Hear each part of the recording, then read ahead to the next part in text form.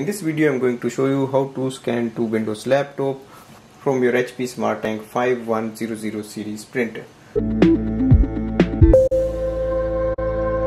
Now the first thing is to make sure your printer is connected with your Windows laptop using HP Smart app.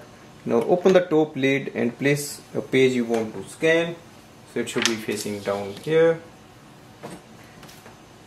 Go to your Windows laptop click on the scan icon. Now here you can just change the settings if you want. Click on the preview. So scan is transferred. So it is in the preview window. If you are okay with the scan then click on the scan icon. So now you can save it or you can share it. So this way we can do the scanning using the Windows laptop and this HP Smart Tank printer. Thanks for watching